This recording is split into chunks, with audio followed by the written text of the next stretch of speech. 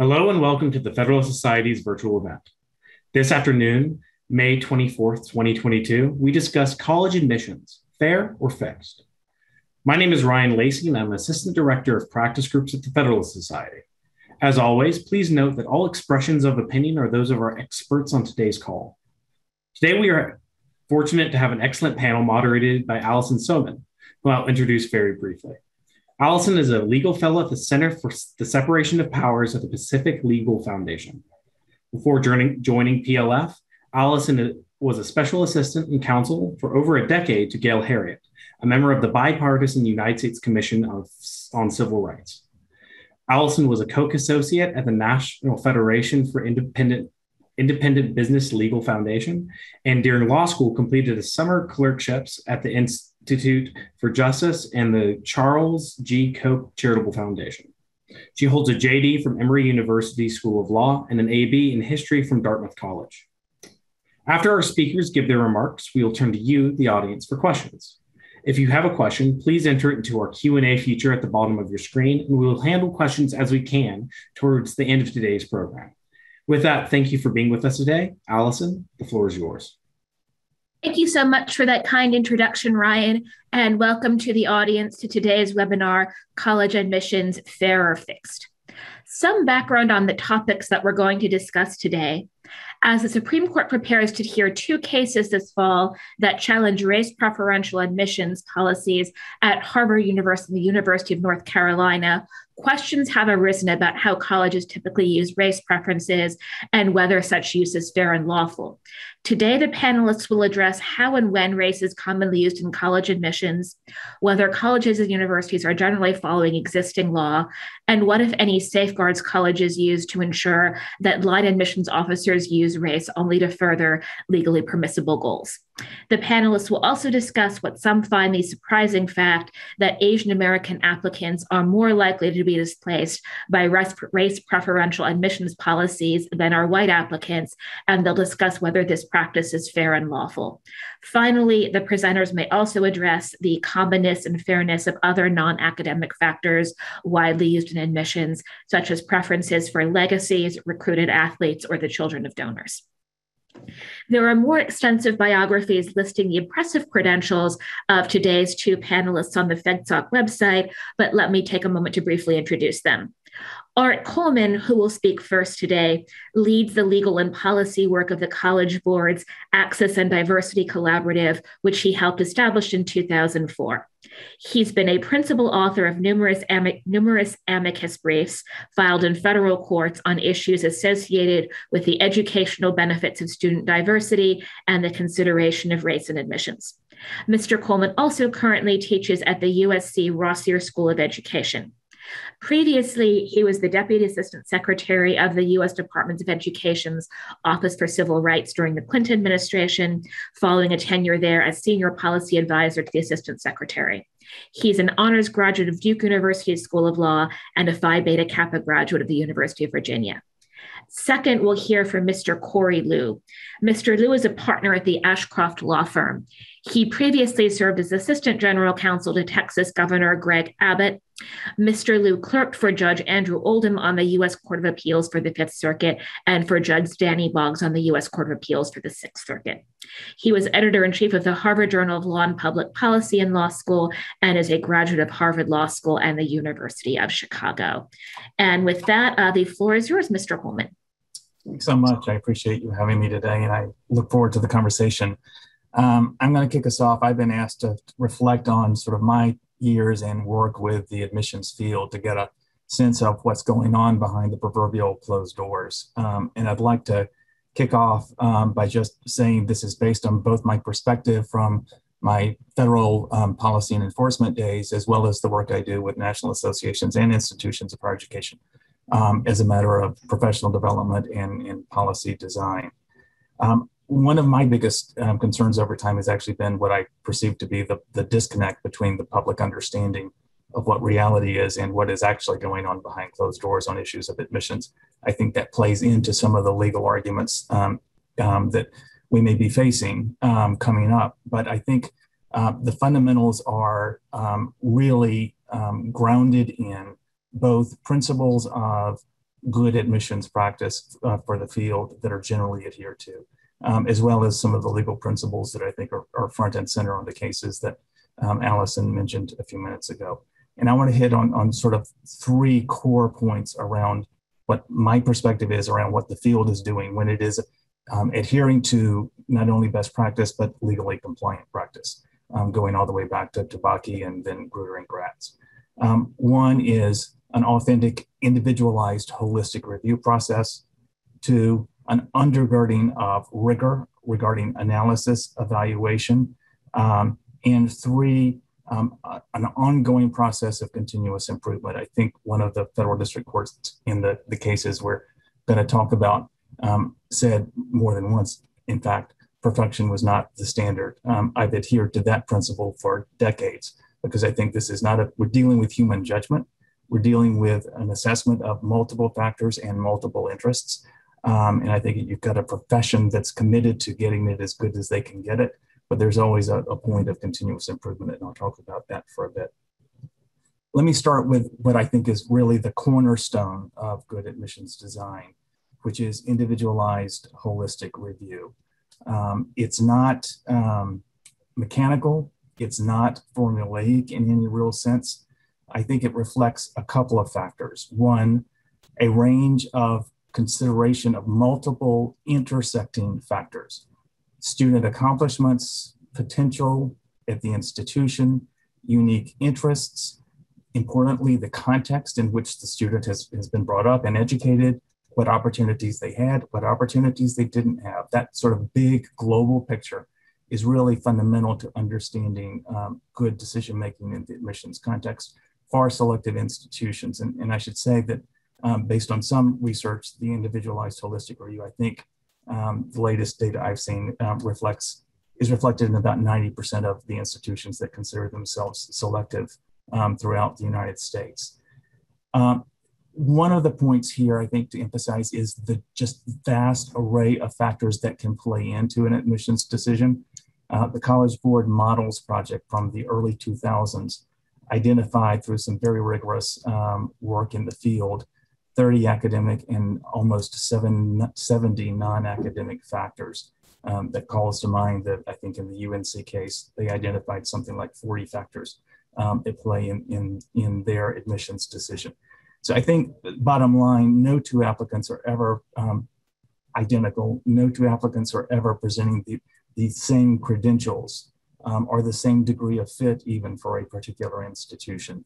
Um, it's really about not only what they've achieved, but the context in which they've achieved it.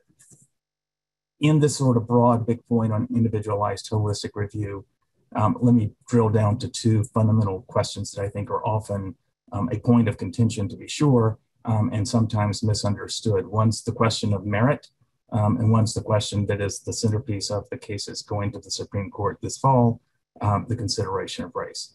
Um, I think you will find you, this is universally true with institutions of higher education that are selected, and it is certainly grounded in the psycho, both psychometric principles generally and the test use guidance that's put out by the College Board and ACT. Merit is never defined by test scores and grades, period, end of sentence. Um, test scores, um, according to test publishers, are limited, imperfect, and not exact, even if they are important measures that must be considered along with other factors as a foundation for a high stakes decision like an admissions decision. Um, so that test scores should never be considered the sole or even the principal factor, notwithstanding their importance. And it's important to understand that test scores are never judged in isolation. They are, they are evaluated in the context of the entire student application, going back to this notion of individualized holistic review. The second point on the, on the question of race, um, in my experience and from what I've both deduced from work with institutions and the work I've done with national organizations on this one, the consideration of race can't and should not be mechanical. It should not reflect a kind of systemic weighting. Um, I return to both the, the Grutter and Gratz divide in 2003, where the court, on the one hand, upheld this authentic, individualized, holistic review race could be one factor integrated among other factors versus the more mechanical, rigid point system that was um, struck down. And I think it's really important to recognize, and I think this is an important factor when you understand the dimensions of, of holistic review, trying to understand the totality of the applicant's background and experience, that race enters in through facets around their life experience, their self identity, and the like.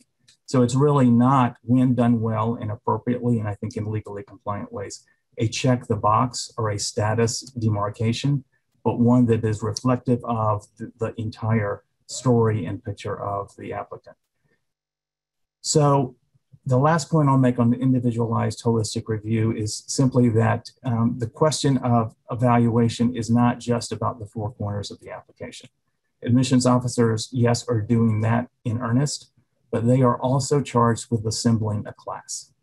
And part of that question of assembling the class is how do you achieve your institutional goals, how to create the mix of students that will enhance the, the learning, the dialogue, the challenge from different backgrounds and experiences. And I think that's a big piece that sometimes gets missed, um, particularly in the headlines. So let me quickly, that's sort of individualized review, holistic review in a, in a nutshell, if you will. Um, let me turn to then um, very quickly the two other elements I mentioned, the sort of the process of rigor there's a lot that goes into a design around an admissions policy and, and process and implementation, both addressing sort of mission driven institutional goals, understanding that admissions is part of a broader enrollment management strategy that involves everything from outreach and recruitment to financial and aid and scholarships. So there are fundamental business decisions here. Uh, keeping the lights on um, is, is part of that um, but they're also integrated within other design elements. And that, in my experience, that's both research based, tied to not only sort of broad research, but what institutional experience is over time, what they are achieving, where their goals aren't met, part of this continuous improvement. And it's really grounded in um, a notion of professional judgment um, that's further enhanced by ongoing training um, ongoing calibration about different factors and decisions. Um, and part of the uh, process is also um, very much integrated with input from boards of trustees, presidents, provost, and the like in faculty, not just a cluster of folks in an admissions office. Then finally, back to my, my point that um, you know, profession, uh, perfection is not um, the, the ultimate goal here because that's an impossible goal when you've got human judgment at play. Um, there is a very dedicated, robust effort. Typically, you see it in the summer cycles, where there's an evaluation of what went right, what went wrong, what needs to be adjusted, what needs to be fixed. Uh, not only looking at both the um, how did we do in our admission cycle, but now what is the experience and what are the outcomes associated with student experience and success. And so it's a very dynamic, ongoing process that's very, it's not a static one and done. Um, it is a process that is subject of ongoing evaluation, ongoing questioning, ongoing challenging, and that's part of the experience. Let me stop there, Alison. I think that gives a, a, a picture of the, the basic um, foundation as I've experienced it. Thank you. Um, on that note, we'll now turn to Cory Liu. Thank you, Alison, and thanks, Art, for that um, description of how the admissions process is at least conceived of and how it's supposed to work. I think you know my reaction is that uh, despite the best of intentions, if we presume that those uh, at these universities who are making these decisions are are trying to implement all of those policies that you just described, those goals, that there's still going to be problems, and not only that those problems are just in the implementation of it, but that it's inherent into that way of approaching admissions. Um, I think let me start with uh, something that kind of an interesting insight that I got um, when I was having a discussion with Professor Sanford Levinson at the University of Texas at Austin here when I did a, a Federalist Society event back in 2018. And he actually expressed some agreement with some of my criticisms of how uh, race conscious holistic admissions has happened, which is that there's sort of an inherent flaw in this pursuit of diversity that Grutter uh, put a stamp of approval on. Uh, who counts as diverse? Which categories do you look at? Right. Ultimately, as individuals, there are so many factors that make us unique. There are everybody in some sense could be said to have certain advantages or disadvantages.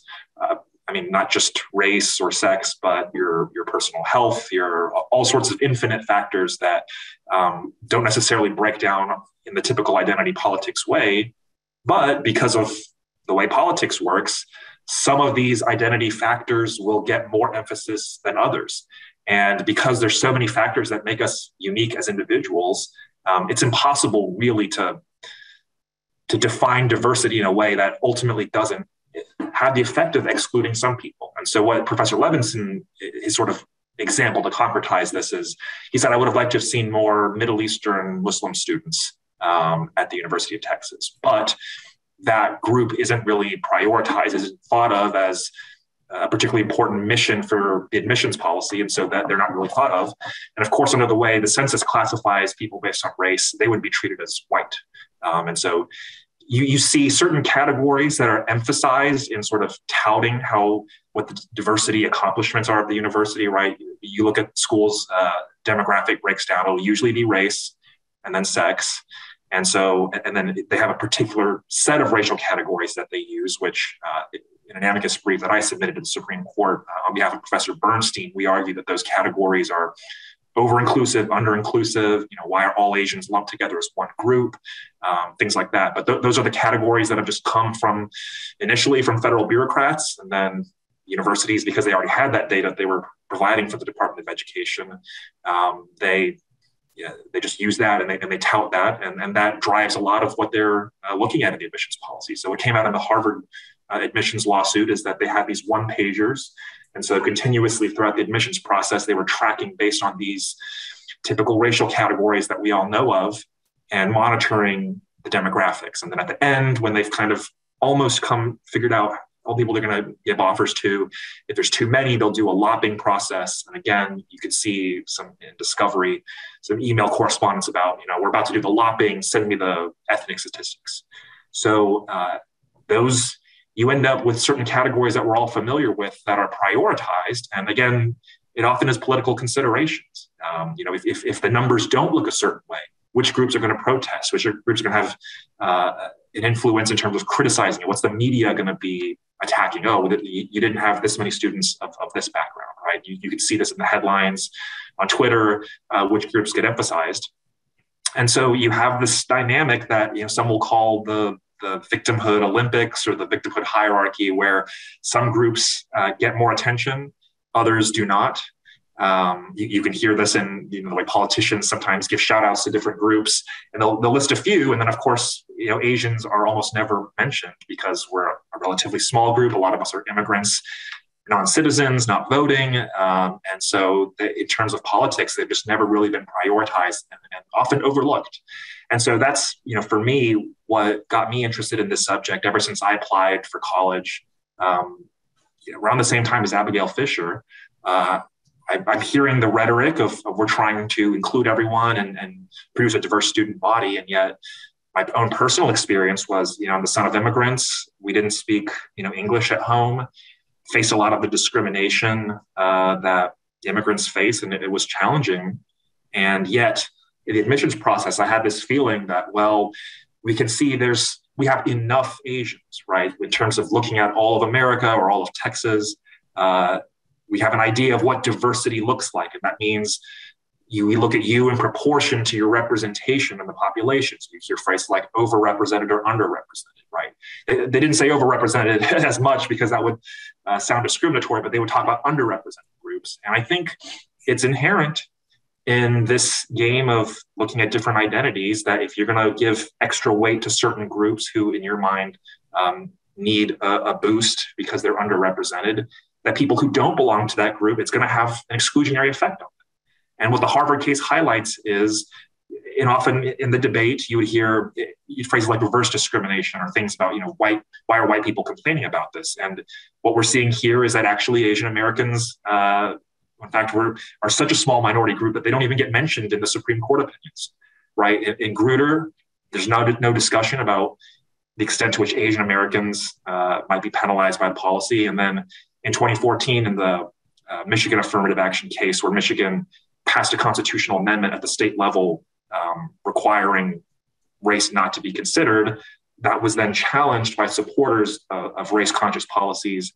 And it went to the Supreme Court, who said that Michigan may pass a constitutional amendment uh, along these lines. But Justice Sotomayor wrote a dissent, and she talked about how removing these policies would have a detrimental effect on minority admissions. And she pointed to uh, schools in California where California had passed a similar constitutional amendment at the state level. And she, she didn't have any discussion of Asians at all, right? So perhaps some minority groups, maybe the numbers changed uh, in a way that decreased the population, but then there were also other minority groups that uh, had a, a, a greater chance for admissions just because they're being treated equally to students of other races. Their race isn't being used to penalize them. And her, her opinion doesn't even mention Asians as existing at all. I don't know if it was uh, negligence or uh, some kind of selective desire to highlight rhetorically without considering some of the challenges of her position.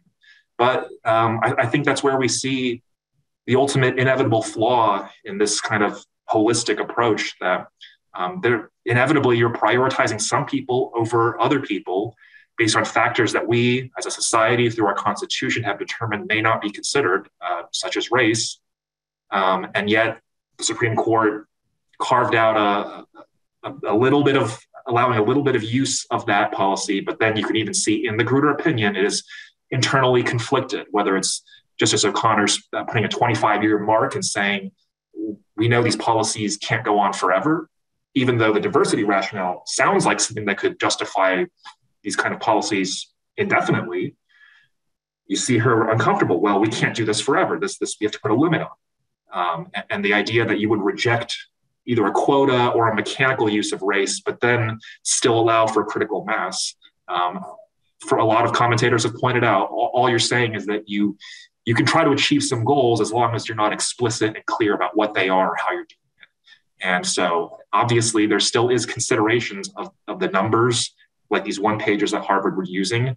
And they were trying to replicate those year after year because as the evidence showed for roughly 20 year period that was examined by the plaintiffs, the number of Asians remained the same. The number of all the different demographic group, groups pretty much remained mechanically the same year after year. And so uh, I, am not sure there's a, is a way to, to do this uh, that um, will, will achieve what the critics, uh, the people who support these diversity policies want, which is they ultimately want the numbers to look a certain way. And so if you just use race or, or other factors just a little bit, you may not necessarily get the exact numbers or outcome that you want, and, and you'll face a criticism. And so inevitably, there's going you're going to be reduced down to this mechanical consideration, whether it's quotas or whatever, and you just may not be stating it as explicitly or honestly. I think that's a lot of the resentment that I've felt going through this myself, and that a lot of Asian Americans and, and other folks who've been interested in this lawsuit is you hear the rhetoric, it sounds nice. Then you look at the reality of how it's implemented. At the end of the day, there are these judgment calls and there are biases as to what uh, factors contribute to diversity. And I'm not necessarily arguing for uh, only tests. I think there are potential advantages to using only tests or tests and grades, which is that it strips away a lot of the potential biases. Um, for example, the discrimination against Jews that was at Harvard before Asians, um, just explicit references about you, you wouldn't want there to be too many Jews, or even the Jews wouldn't want to be there anymore. That kind of thinking. Um, when you if you go to just pure academics, I'm not saying it's it, it's fair in every respect or somehow that that uh, is the is the best way to judge who you are as a person, but it is a way that everyone is judged in a uniform manner that removes bias. But even if you don't look at that, um, you know, I, I think uh, uh, we still have to be ultimately aware of that this diversity goal. Uh, there's no way to implement it in a way that doesn't ultimately have some sort of exclusionary effect on some groups. Um, and I think that's why, as long as these policies are in effect, people are going to continue to raise challenges to them. You're going to have problems like what happened at Harvard, where theoretically you're supposed to be using race just a little bit, but it seems like every year they're they've already predetermined the racial balance of the class. Um, so I think uh, this, the case does a very good job of, of illustrating that problem, and, and we'll see what the Supreme Court does. Um, so, Alison, can I just do a, a couple points of response? Sure. In fact, I was just about to ask both of you if you each want to take a moment to respond to what the other has said. Sure. Um, so, uh, Cory, I appreciate the perspective. Um, and there's a lot in what you said that I think um, to the extent that it reflects an institutional decision where there are these sort of categorical rules or even quotas or sort of a sense of, you know, all Asian Americans are lumped into one category, which is problematic in and of itself um, in the way you described it. Um, I think would be problematic, but I think I'd want to say this. Um, number one, just as a reminder and a grounding point that the diversity interests that are the foundation for all of this are actually well beyond race and ethnicity, of which race and ethnicity are a, are a piece. Um, and we shouldn't lose that. And I would say, um, I, I would say a, a, lot of the ways in which institutions sometimes talk about these issues, you talked about sort of the websites and the, how they report on their class becomes very categorical. Um, that can certainly lend itself to that understanding. I will tell you from my experience, um, that kind of rigid or systemic or um, mechanical lens is not the reality when you are looking at the, the, the authentic individual in a context. Um, again, that's not to say they're outliers. I can't speak for all of higher education, um, but I can say that I, I think that's um, really what's part of it because it's not going into individualized holistic review and saying, um, is this student an Asian American or is this student um, Black or is this student Hispanic? It's actually going to see what the lived experience and background and perspectives and interests um, that could easily be associated with that that will bring some richness to the dynamic about this learning community you're, you're looking for. And I think ultimately we've got to acknowledge that the, the reality is um, the aim for the institution is to assemble a robust class.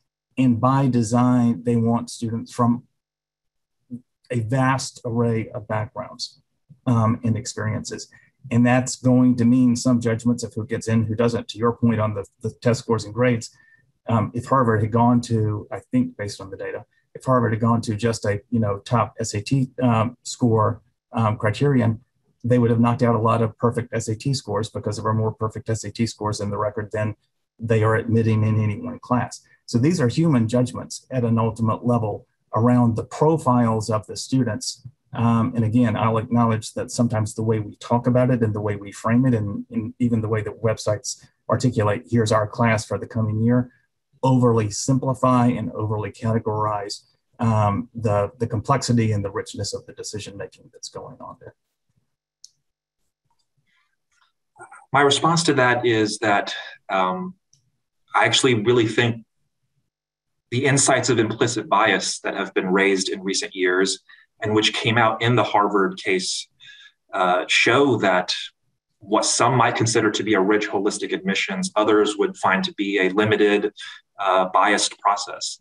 Right? There's a. I think everybody carries with them. Every reviewer carries with them their own personal experiences, their own uh, judgments based on who they are, and that everyone's limited in that respect because we don't have the life experiences of so many different people. And so uh, this is where you see, for, for instance, in a lot of Justice Thomas's opinion, um, this sort of resentment of the purportedly well-meaning white liberal who actually is not seeing a lot of the complexity of what's going on. And so, uh, the great thing about this lawsuit, I think, is that it's given a voice to a lot of Asian Americans, journalists, writers who've been telling these stories. That honestly, I, I would Google and I would never find anything like this. But because of this case, so many have come out and written really interesting and thoughtful pieces that really resonated with me, including people who would not identify as conservative or politically kind of uh, trying to disrupt the system. They're just Asian Americans describing their stories. So if I could just read um, a couple excerpts, um, I have two. One is Professor Jeannie Suk Gersen. She's a Harvard Law School um, a professor there she talks about how uh, she would the, admission, the application process for schools, fellowships, and jobs always came with a ritual. A person who had a role in choosing me, an admissions officer, an interviewer, would mention in his congratulations that I was different from the other Asians. When I won a scholarship that paid for part of my education, a selection panelist told me that I got it because I had moving qualities of heart and originality that Asian applicants generally lacked. Asian applicants were also alike, and I stood out in truth, I wasn't really much different from other Asians I knew. I was shy and reticent, played a musical instrument, spent summers drilling math, and had strict parents to whom I was dutiful. But I got the message to be allowed through a narrow door, an Asian should cultivate not just a sense of individuality, but also ways to project not like other Asians. Um, the other article is by Aaron Mak um, from Slate, and he talks about how I carefully manicured my identity to cater to the admissions committee but that effort also involved erasing it in order to appear white or at least less Asian. I chose to leave the optional race and ethnicity blank in the form, a practice common among Asian applicants. I assumed Mak isn't a popularly known uh, Chinese surname in the US. My dad used to jokingly point out that it's one letter off from the Gaelic surname Mack, M A C K. Maybe an oblivious admissions officer would mistake me for Scottish. I didn't tell my father how much I'd hoped our family would be misread. I marked my intended major as philosophy, thinking this was one of those impractical fields that most sensible Asian parents would not allow their children to pursue. I had no intention of actually following through. I avoided the, another excerpt from the same piece. I avoided participating in the Future Doctors Association, Ping Pong Club, the robotics team, and the Asian Culture Group. I quit piano, viewing the instrument as a totem of my race's overeager striving in America. I opted to spend much of my time writing plays and film, uh, film reviews, pursuits I genuinely did find rewarding, but which I also chose so I wouldn't be pigeonholed. I enrolled in a Mandarin course during my senior year of high school, never having learned a Chinese dialect as a kid, but I dropped it a few weeks in. I told people it was because I was too busy, but in actuality, I didn't want Mandarin on my transcript and as a second language on my application, which I feared could be a red flag for the admissions committee. And so I think what you're seeing here is that there's there in trying to please the admissions officers, uh, many Asian Americans are actually feeling like they have to erase their own sense of identity and who they are as a person in order to basically consider what, what they think a white person would find interesting. And this is certainly something that I experienced and felt when I applied for college. And that I honestly, if you just Googled and, and whatnot, you, you wouldn't find any discussion of this from any of the folks who were empowered, the university administrators, the judges who had judicial review, who were empowered to apply our civil rights equal protection laws.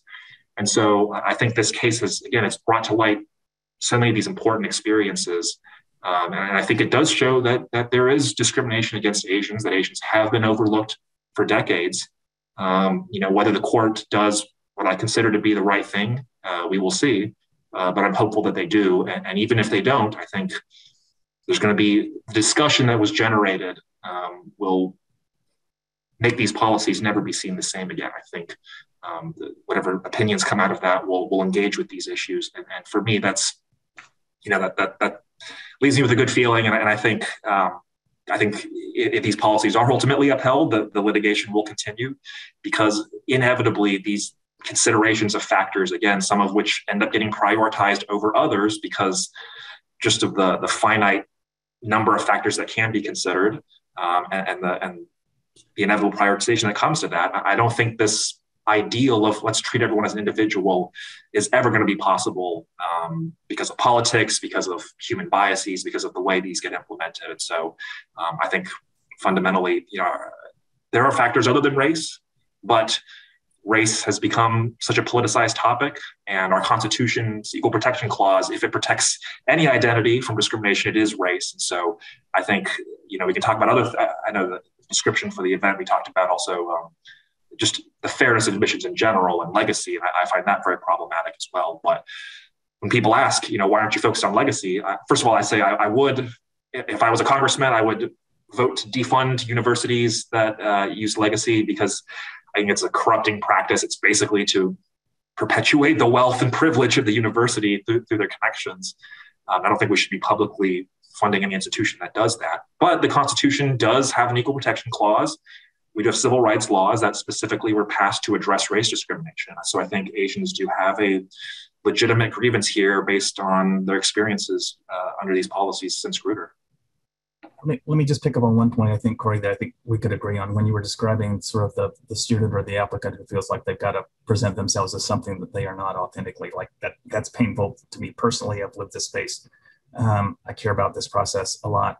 Um, but it is also in my mind sort of antithetical to what this really should be all about, which is the individual identity and dignity of the individual. And that really ties back into, uh, to take it back to a legal context, the 14th Amendment. Like, I think the Equal Protection Clause is grounded in the notion of the individual. I, we've had an evolution of law over decades on that, but I think we are now about the individual and the dignity of the individual.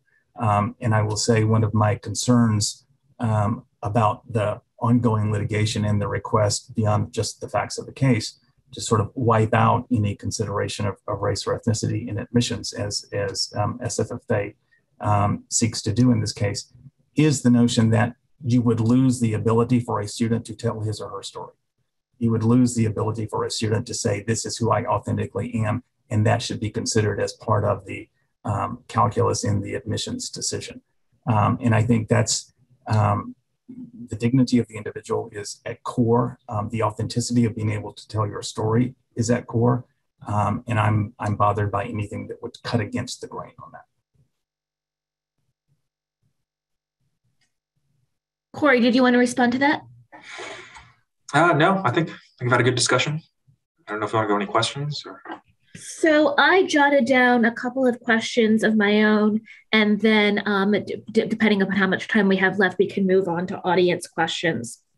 Uh, Art kicked off his remarks by noting that there's an ideal that holistic admissions should approach, but that it often does imperfectly of true, full, individualized consideration.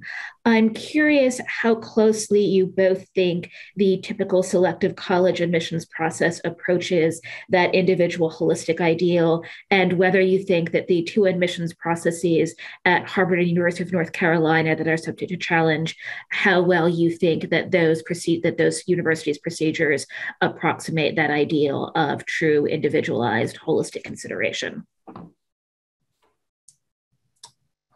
I'll jump in. I, um, I'll say I don't think there is any typical university when I go behind closed doors with um, institutions. Uh, the first thing they tell me is we're different and we're unique.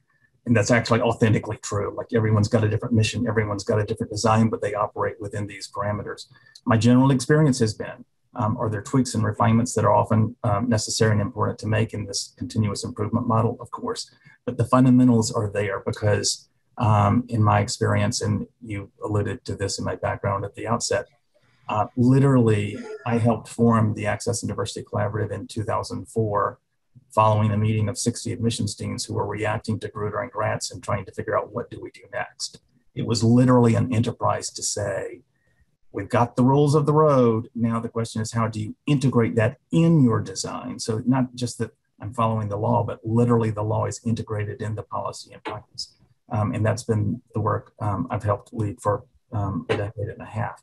So I think that is really uh, an important feature to understand in this um, broader context. Um, I, have not read all of the record in Harvard and UNC. Um, I'm basing my judgments on some of the briefs and then ultimately the district court opinions, which are heavily factually detailed, as well as the one appellate decision um, I see the hallmarks of individualized holistic review. I see the hallmarks of the consideration of race as part of the uh, entire applicant um, in those cases. Well, I think you probably know where I, I stand on this, but I, I don't think, uh, in my mind, the question is are they sincerely trying their best, or do they deep down inside know what they're doing is wrong and nonetheless feel compelled because that's what their job is. That's what the Supreme Court has said to, to frame their process in a certain way. Um, but even even assuming that the intentions of these uh, admissions officers are the best and they're doing their best, I think the mission is hopelessly doomed because, as I mentioned, the implicit bias. Um, the, there's just too many factors to consider. And so, for instance, I, I, the lack of transparency, I think, to me, is indicative that deep down inside, people who are doing this know it's a doomed or, or, or there's certain intractable flaws that can't be discussed because it would be too uncomfortable. So, for instance, if I, I have never I, I I often write and I often you know talk about this issue, but I've never actually sat down with, for instance, with um, Miguel Wasielewski, the admissions director at the University of Texas, and, and if I were to tell him, did you know that there are Asian students who are intentionally not learning their own language or trying to erase that aspect of their identity because they know that people like you are going to think that there's too many of us and what kind of psychological and dignitary harm that inflicts on us and that is 100% sincere. I think he would look he would listen and say that that's terrible. There's also a lot of other people who you know but what about this? What about that? Right? And so inevitably i think a lot of asian americans where the frustration grows is we talk about our lived experiences our uh, the discrimination that we face And what we get is a look of, well, you guys are doing okay. You guys seem to be doing fine relative to your your people, whatever slice of the population we judge you against.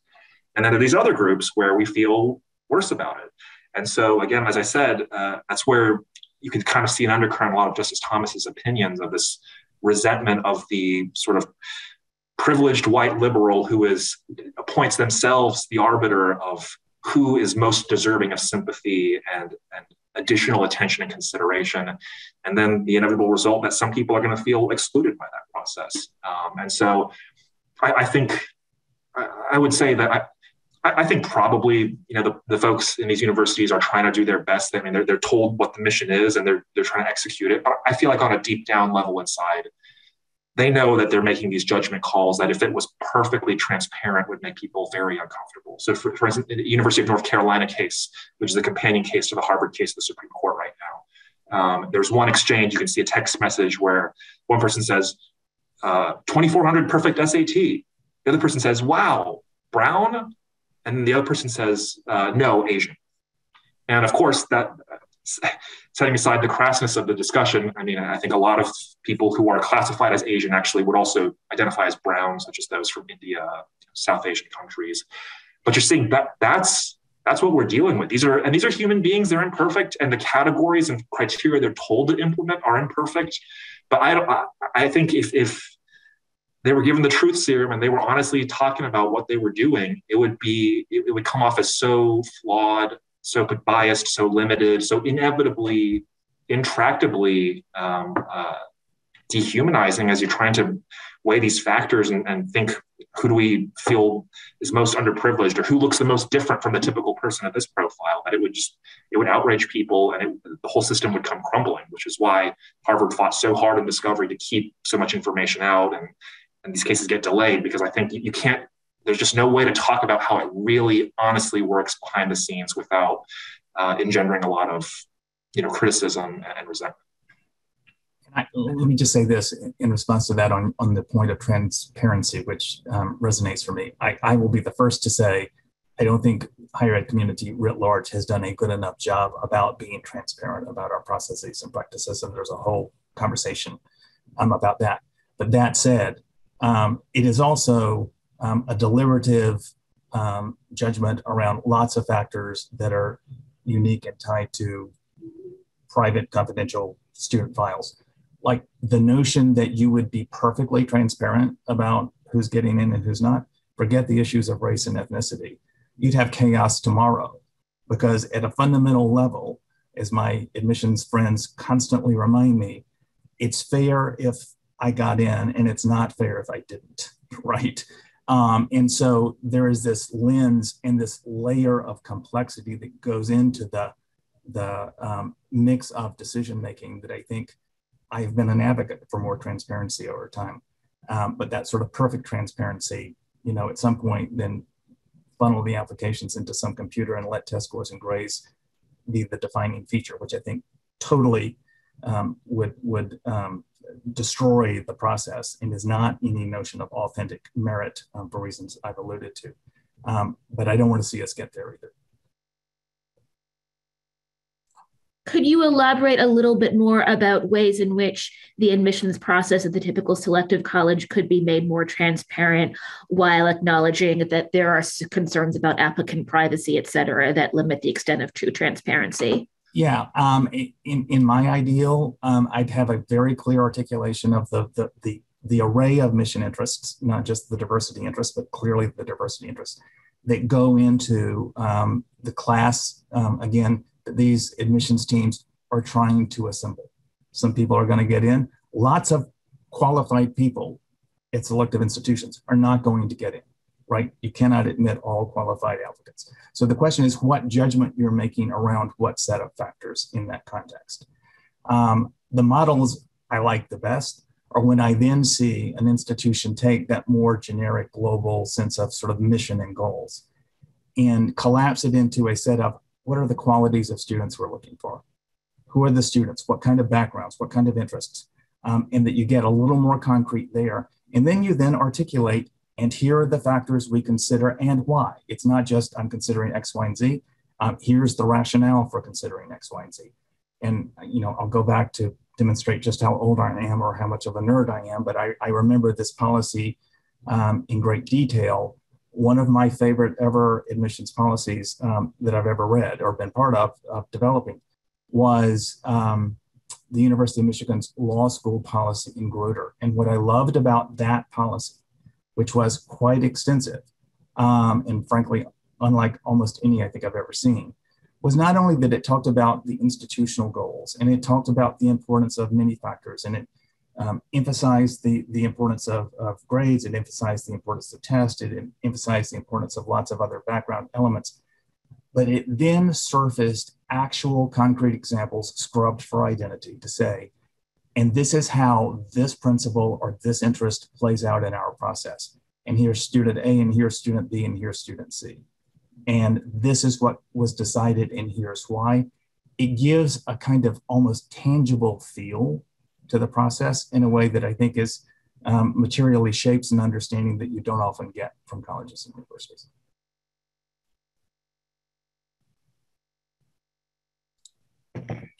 Thank you. Um, an additional question um, in your opening remarks, Art Coleman discussed the way um, that universities should avoid using race mechanically per the Grutter decisions and the Fisher decision interpreting it. I understand that many that many say that some institutions that claim that they're using race flexibly and holistically are, in fact, when you look carefully at their numbers and the consistency in their outcomes across years, that they are actually using it mechanically. I believe Rehnquist raised this point in his dissent in Grutter. I'm curious what you both think of this claim.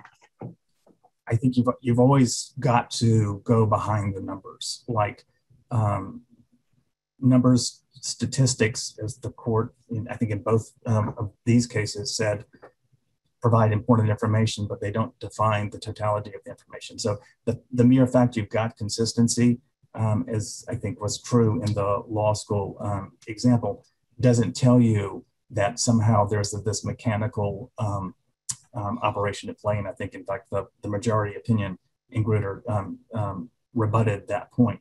So I would always consider um, data and numbers to be the flag or a trigger for further inquiry. But I don't think you can step back and say the numbers look like they look like this, therefore there's discrimination. Um, if that were the case, then the disparate impact standard, which is triggered by uh, statistical discrepancies, um, would then be the foundation for defining discrimination, and that's not the case there either. Well, I think you will inevitably see quota like thinking because I question the extent of the educational benefits of diversity um, as conceived of by these universities. But I think at least part of the motivation for these policies, I think, is just political in terms of, I guess, what you might call PR or virtue signaling or whatever terminology you want to use, which is that if the race doesn't look a certain way, then we've seen this all before. The New York Times X percentage of this institution is this, right? This many percentage of uh, you know law firm partners are women, or this many percentage of law firm partners are people of color. And um, to, in order to avoid that criticism, you're going to have to take whatever steps it takes to get the numbers up. And so that seems mechanical to me. That seems like a quota because, I mean, quite frankly, if if you didn't have the numbers and the outcome, you would be criticized as to whether you were even doing this race conscious or whatever con- you know identity conscious policy correctly or or they are they even doing it if, if the numbers don't look different? So i think there's a political criticism component to that. Um, and should a school be allowed to, to consider that? I, I can see why they would want to in terms of you know if it's a private university they got to compete in the marketplace for donor dollars and prestige.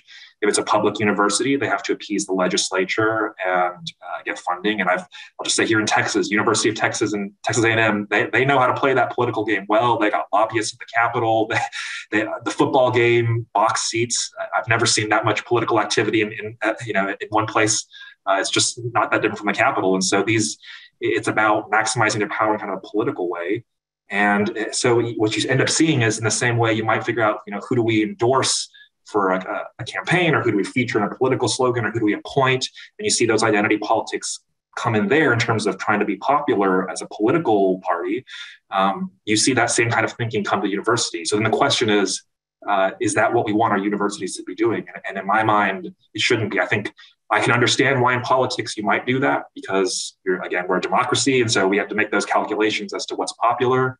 Um, but it, it, I think education is supposed to be something that transcends race. And so, I, a law review article that I, I wrote, um, W.E.B. Du Bois in The Souls of Black Folks talks about how when he's reading Aristotle and, and, and the great books, for a moment, this veil, which obscures his ability to, to his interactions with people of other races, it lifts, and we're all just discussing ideas. And, and this is something that carries us outside of that, at least in this context while we're having this educational discussion. And unfortunately, I think when you allow, when you prioritize part of your educational mission as this political kind of diversity, I think you end up politicizing campuses more and it detracts from what I, I ultimately think, you know, higher education should be something that transcends race, that we're all, we're all studying the same curriculum, whether it's in the sciences, the natural world, uh, these great books, these ideas that ought to persist regardless of time over centuries, um, regardless of your race, that there's something worth studying there that transcends all of that. I'll just I'll say um, you you referred to like the the focus on diversity as what's popular. You know, in both my lived experience and my worldview, it's also what's important. Like I don't think you have the Fortune 500 companies and others are retired military generals that have weighed in in Grutter and Gratz and Fisher, and I would guess are going to in the UNC and Harvard cases, talking about the imperative of um, diversity um, with a focus on racial and ethnic diversity for their organizational and institutional success being simple sort of politics or popularity. Um, I think there is an actual intrinsic reality. Um, we won't get into it today. I think there's a foundation of um, systemic um, discrimination and racism that undergirds a lot of this. But that's not really the, the focus here is less about that, although it's connected to that. And it's about sort of what we are achieving both educationally and ultimately for the workforce and for, for civic engagement in a world that is increasingly connected and in a society that is increasingly diverse. And so this notion of uh, a kind of sort of neutral science, I'm putting words a bit in your mouth, but you know, let's the same science for everybody like what about the medical conditions that never surfaced um, that affect women uniquely or certain races uniquely until they were part of the medical school cohort like you get a you get a richness you get a, a breadth of perspective you get a different lived experience that comes to the table for better decision making on a lot of fronts and so um, i think there's a real grounded reality um, in that not only from from education but to the professional world of traditionally conservative corporate America that is weighing in pretty strongly um, on this set of issues.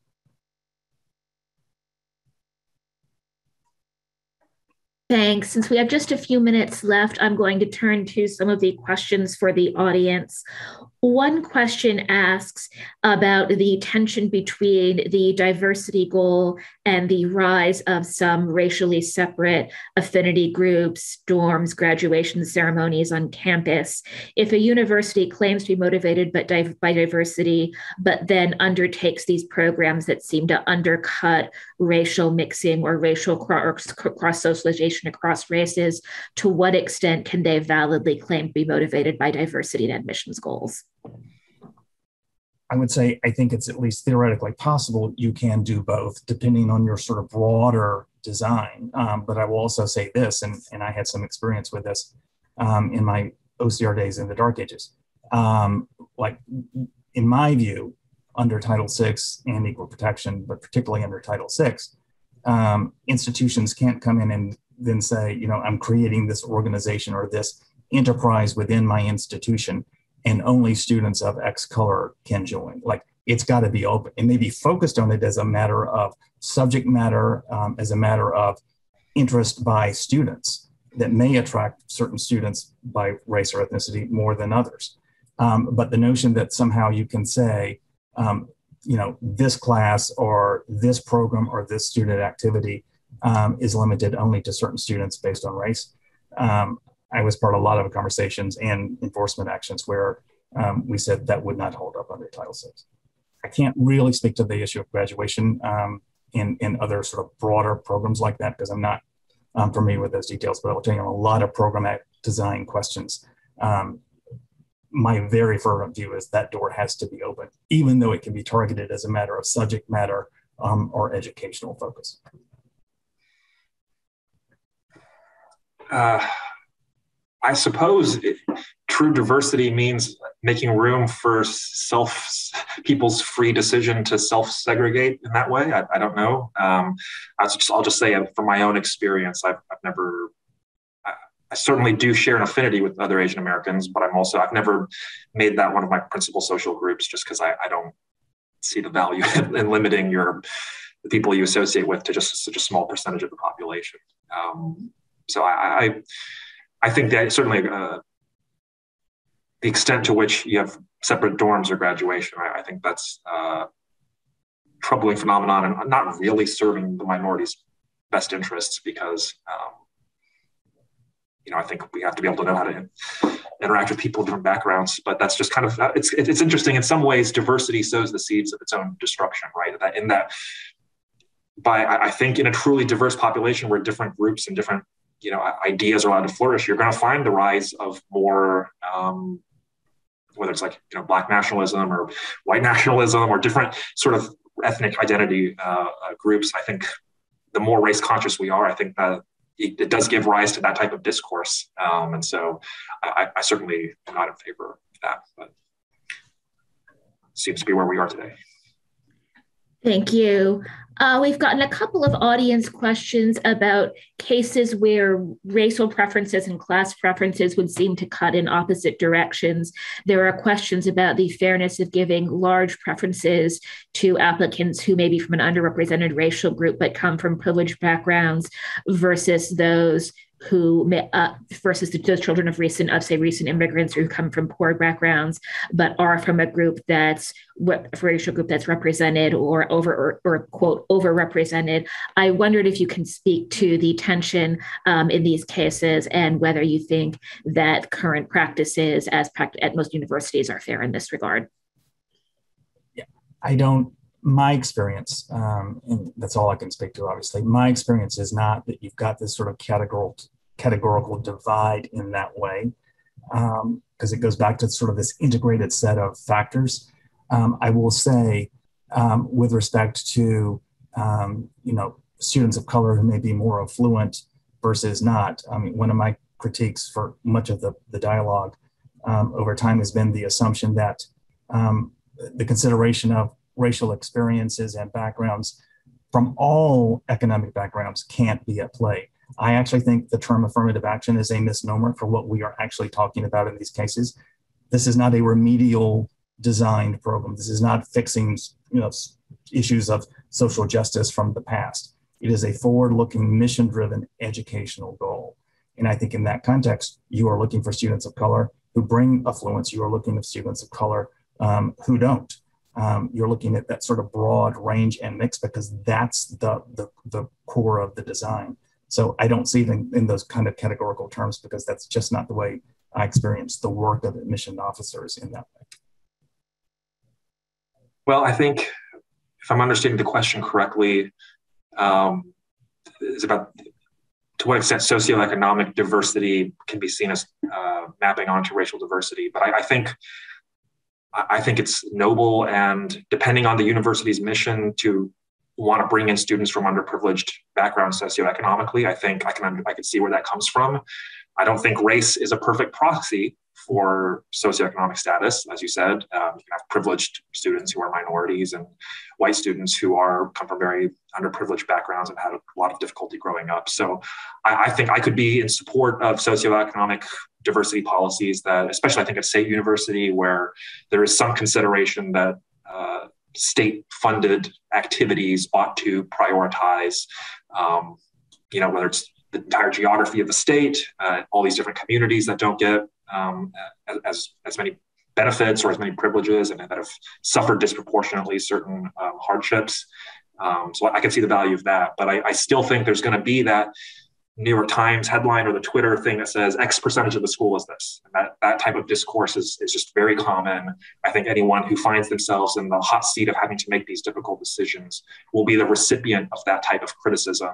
And so that will inevitably give rise to the question of do we take an any means necessary approach to get the numbers to look a certain way?